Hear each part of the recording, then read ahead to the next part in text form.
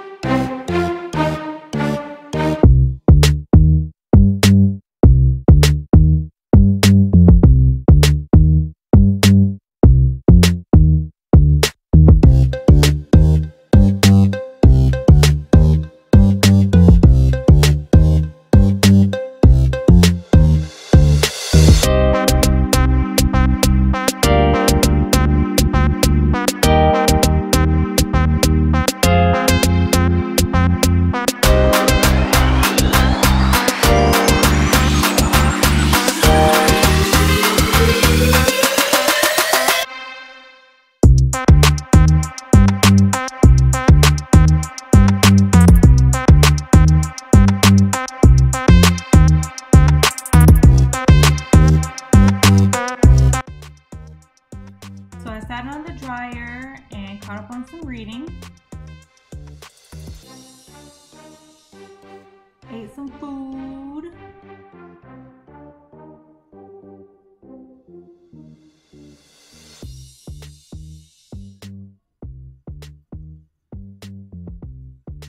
And watched some TV.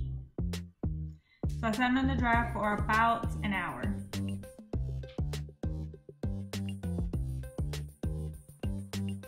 So the tech out process, um, I never got easy. I was trying to find little tips and tricks that I could do to make them come out faster or easier, and I just never found it. So I kept trying to pull it through like I would um, if I pulled them the other way. That was a very big struggle. Unraveling them one at a time took forever.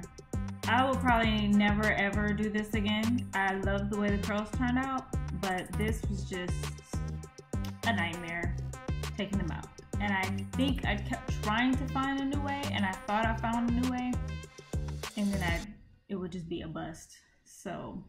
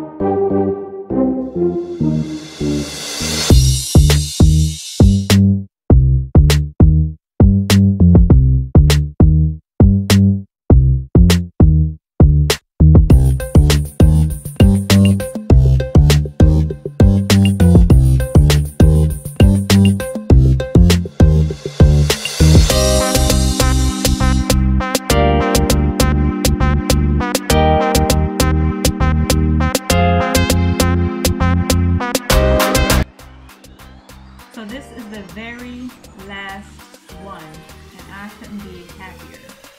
Still took me a minute to take out, but I was just so happy to have taken all of those stinking pipe cleaners out of my head. So I really do love the curls.